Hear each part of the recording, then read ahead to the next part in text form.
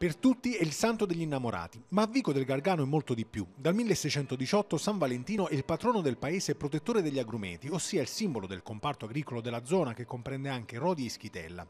Anche quest'anno Vico ha accolto migliaia di visitatori provenienti soprattutto dalle province di Foggia e Bari per le celebrazioni laiche e religiose in onore di San Valentino. Le arance sono ovunque, sui balconi e lungo i viali del paese. Non c'è negozio che non sia addobbato con questi frutti colorati e profumati. Dopo la messa nella chiesa madre, la statua del santo è stata portata in processione processione nel centro storico. Il simbolo del paese e della festa del 14 febbraio è il Vicolo del Bacio, una stradina larga non più di 50 cm e lunga una trentina di metri, luogo d'incontro degli innamorati. Il vicolo è talmente stretto che il contatto è inevitabile e il bacio pressoché obbligato come buon auspicio. In questo territorio arance e limoni, che hanno ottenuto da alcuni anni il marchio IGP, maturano tutto l'anno. Un altro simbolo di Vico sono i sospiri, detti anche dolce della sposa, preparati con crema pasticcera, pan di spagna e glassa. Una prelibatezza che non può non meritarsi anche una paziente attesa nelle pasticcerie del paese.